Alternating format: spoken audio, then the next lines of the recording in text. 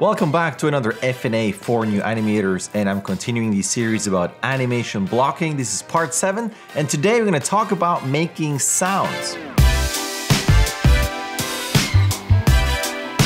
In this blocking out your animation series, there are a lot of parts and a lot of things that I'm gonna talk about and a lot of things that I think are important, but making sounds is very, very underrated. So what does that mean, making sounds? So there are two ways that I approach animation in terms of quickly checking my timing for blocking, and that is making sounds as I come up with the shot, and this could be someone that could fall down and you could do, uh, uh, whatever sound you have, and I make that sound over and over and over and over, and then I animate it, and then I kind of make the sound as I animate, oh, over and over and over, so I have that timing in my head, and then I make a play blast, I look at my animation, and I go, oh, and if the animation doesn't quite sync up with what I just made sound-wise, then you know mm, the timing is kind of off. So I make sounds over and over and over, and I keep making those sounds while I animate, and the main thing is that I make those sounds when I look at my play blast. And this can be used, you know, for someone falling, for a punch, for a head turn, anything that you have where you feel like a swoosh, or even if you have someone going, hmm, okay, and you want to time that head turn to that sound where someone goes, hmm, hmm,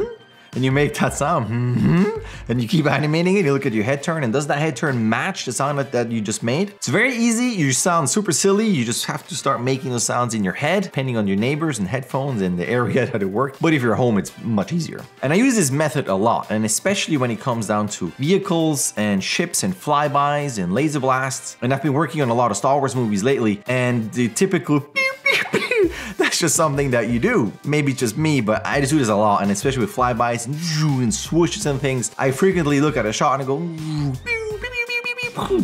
make those sounds. And as an example, I can show you a shot that I did on The Force Awakens, and this is a shot, if you look at the trailer, uh, it's somewhere in the middle. I can scrub through there and you can see this where you have an X-Wing chasing a TIE fighter. So let's give this the full screen treatment. And you can see there's this big flyby across camera. So you have the X-Wing going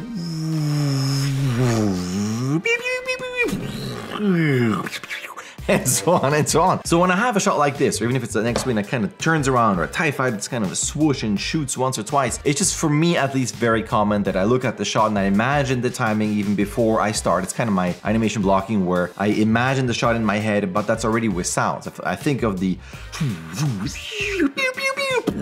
all that silly stuff helps me tremendously. So that's one way of doing it. But you can also make those sounds, and that's my second approach. You can make those sounds and then record those sounds and put that into Maya. And again, this can work for a physical shot in terms of like vehicles and flying or punching or whatever. And you can go pretty crazy with how you can imagine a shot. Of course, that all depends on how much time you have. So you could technically record certain elements separately and that kind of mix that together into one big cohesive shot element sound reference type of library background movie. And then you can animate based on that. Again always as a springboard. It doesn't have to be exactly that. But imagine you'd go crazy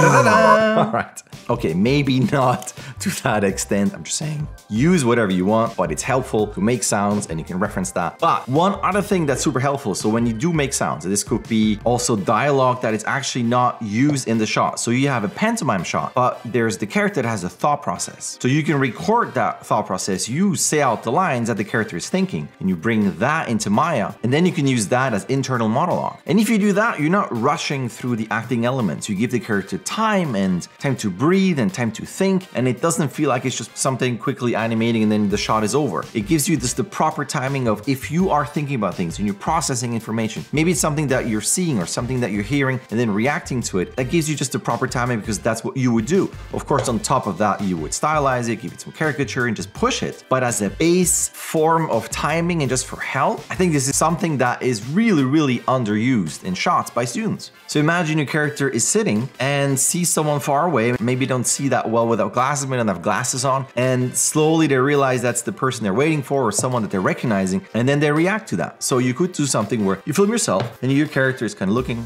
Oh, that's a nice looking bird flying around there. Oh, who's that? Weird. That looks familiar. I know that face. Oh, wait, I think I know. Hey, oh yeah, that's that guy. I know that guy. Totally random, but this could work. And you bring this into Maya and you have your reference points of when the character is thinking, seeing something, reacting to this, putting things together, realizing, oh, wait, I know this face. Yes, this is someone I know oh, I want to say hi to this person because I know that person. And you have all those steps there in your sound file and you look at your wave cues, you can take notes and everything, but at least it's there so you don't just do the animation based on nothing. So to recap, you can use the sound in a simple way where you just make the sounds over and over and over so you're familiar with the timing because you've done this over and over and over. You know when someone falls, it goes, oh, wait, what? And you have that, oh, hey, what? Like that, maybe that could be your head movement of, hey, oh, what? Like that is the timing you kind of want to stick with. Or punches, or spaceships flying by and going. Or you want to be a bit more detailed and then bring that into your animation so you know when the swooshes are and the pew pew hits or a head turn or a laughter or a punch, whatever it is. Or you go one step further when you have a pantomime where there is no actual audio, but you record the thought process of the character thinking and going through all those steps of what is this? Oh, I know what this is and I'm reacting to it. All that you can record, bring into Maya, use as a reference point, at least as a starting point, and you can build on that. Of course, you're going to go through reviews and critiques and it's going to build and build and build, but at least as a foundation for timing that is solid and that you can reference so that the animation is not completely wrong when you show it for the first time as your animation first pass blocking. And I urge my students to do this. I'm not sure how many are doing it, and maybe you are, maybe you are doing it already. So let me know in the comments. Let me know if that's something that you've tried, or you comment and say, Yeah, I did this, but I changed something and I added this to make this better. Whatever you do, if this is familiar, let me know. Let me know in the comments. That could be very interesting to see if you've used this, if you build on top of that. And that's it. That is my FNA for making as reference for your blocking timing. Quick and easy, whatever you want to use to keep that timing really, really tight so that your first pass blocking is not confusing. An emotional point and acting point is clear for presentation. As always, if you watch this whole thing until the very end, I thank you very much and hit like and subscribe and hit that bell button for all notifications for all my critiques and uploads and FNAs and acting analysis so you get all notifications, you know what I mean. And I will see you next week.